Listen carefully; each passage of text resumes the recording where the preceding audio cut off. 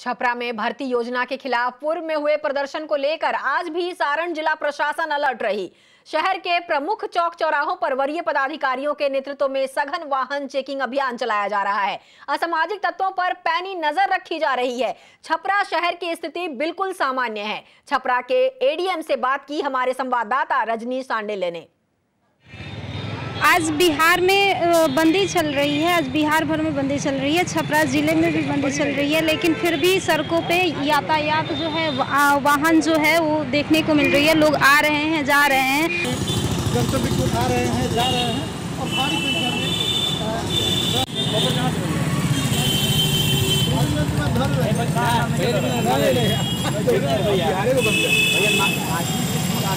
उत्तर प्रदेश में चल रहा है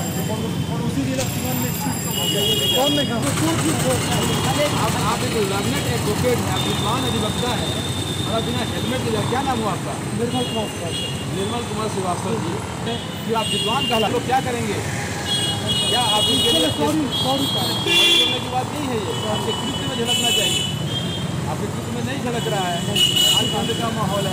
अभी हमारे साथ एडीएम साहब मौजूद है, गगन सर, उनसे हम जानकारी लेते हैं। सर, बंदोबस्त की क्या व्यवस्था है?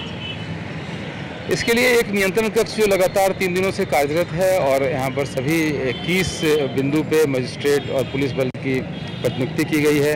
प्रत्येक अनुमंडल में अनुमंडल पदाधिकारी, स्वयं जिला पदाधिकारी, पुलिस अधीक्षक महोदय भी घूम घूम कर जायजा ले रहे हैं। ताकि आम जन को किसी प्रकार से कोई सहूलियत में कठिनाई नहीं हो, वो आराम से आ जा सके, जैसा कि आप देख रहे हैं, सड़क पर सब कुछ ठीक ठाक है, दुकानें खुली हुई हैं, लोग अपने अपने काम पे हैं। हाँ हम लोग ये चेक कर रहे हैं कि बाइक पर ऐसे लोग जो जा रहे हों और जिनके पास जिन्होंने हेलमेट नहीं पहना है, गमछा से मुँह ढक रखा है या बिना काम के वो घूम रहे हैं तो वैसे लोगों को हम लोग पूछताछ कर रहे हैं और सामान्य है, अभी सब कुछ स्थिति सामान्य है।